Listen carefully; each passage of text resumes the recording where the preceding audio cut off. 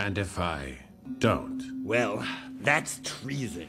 The punishment for that is a classic. It's called the tub. It's filled with milk, you lay in it. If you're hungry, we pour honey on your face. That sounds kind of nice, actually. At first, you know, till the milk spoils. Soon the tub fills with your excrement, then the flies and their maggots. At first it itches a bit, then it starts to burn. Your skin peels away with every scratch you can't stop yourself from making. The blood mixes with the foul milk and excrement, seeping into your open wounds. The smell of your own death causes you to vomit into your already toxic coffin.